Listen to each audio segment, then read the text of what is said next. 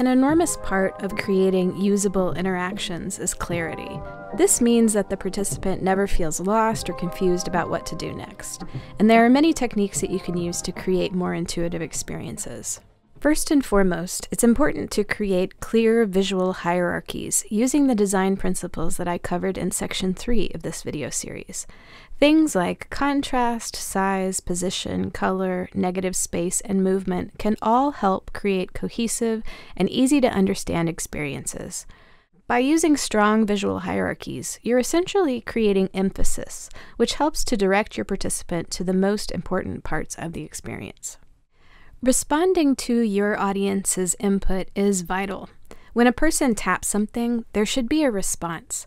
That's why website buttons often change color on hover and on tap. You're communicating to the person using the website, hey, I see what you're doing. If you tap this, it'll do something.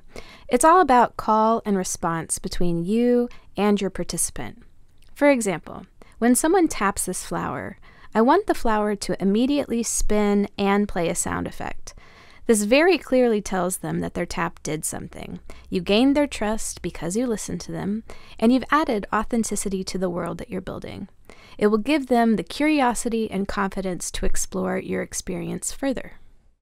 A hit area, meaning the space a tappable object takes up, must be large enough to be tapped easily and have enough space around it so that you don't accidentally tap something else.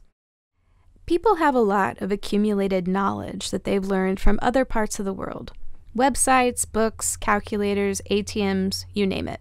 And you can use that pre existing knowledge to make your experience more intuitive.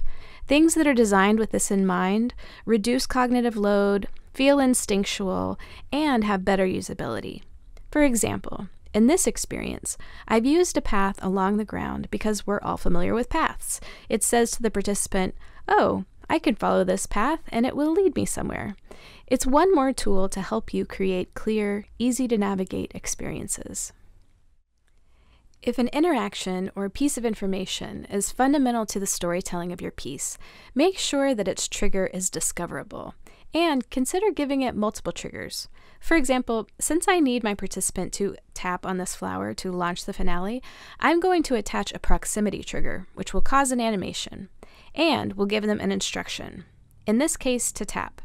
The animation is movement, which catches people's eye, and the instruction gives them additional information. So, if they aren't used to tapping on things in spatial experiences, they won't miss this important part of my piece. One of the defining features of augmented reality is its spatial nature. The experiences are happening around the participant's body. This leads to more potent emotional reactions and a variety of new input techniques. One of those techniques is proximity triggers. When a participant gets within a certain distance from an object, an event is triggered. For example, I've created an enter proximity trigger for this blossom. When a user gets close to it, it will spin, and if they tap it, it will orbit around their body indefinitely. When designing interaction for AR experiences, it's especially important to consider interactive depth. By this, I mean using layers of interaction and a variety of trigger types. Each will offer its own reward and will contribute to the authenticity of the world that you're building. I always try to use a blend of essential and optional interactions. For example, in this piece, I have got one central interaction, which is tapping the red flower, but I've sprinkled other optional interactions throughout the experience. So if people happen to walk toward or tap a plant, they will be rewarded with a response like an animation or some additional piece of storytelling. I've created a piece that illustrates all of these concepts in action. If you'd like to try it yourself, you can scan the QR code below or if you'd like to take a deeper dive into how I set up the project in Aero, I've included the source materials as well.